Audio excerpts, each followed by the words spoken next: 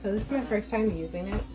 Um, I did celery, cucumber, as you can see, carrot, Swiss chard, uh, half a lemon, an apple, and parsley.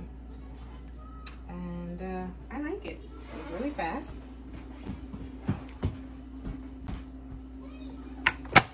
Let's see what it looks like inside. Yeah, so seems like it did a good job. Um, I had a Jack LaLanne juicer before, many moons ago, which I really like. This is bigger, of course, but from the first try, it's done a good job.